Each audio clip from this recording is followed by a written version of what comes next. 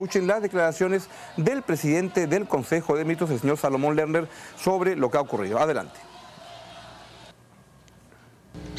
Eh, nosotros estamos, como lo hemos eh, dicho el día de ayer, eh, abiertos al diálogo.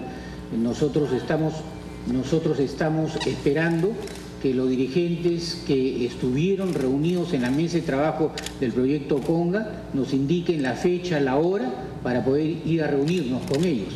Eh, ellos eh, han manifestado de que lo harán, esperamos que sea así. Si me invitan, con todo gusto, ¿cómo no voy a ir? ¿Cómo voy a despreciar la invitación de cualquier dirigente, por supuesto, que esté institucionalmente esto, eh, actuando?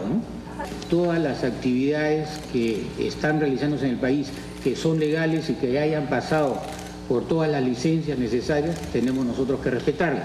Nosotros estamos abiertos a enriquecer todos todos los estudios de impacto ambiental, de recursos hidrogeológicos, con los expertos nacionales, con los expertos internacionales, todo lo que se puede enriquecer para que las observaciones que pueda tener la población puedan ser absueltas, estamos dispuestos a hacer.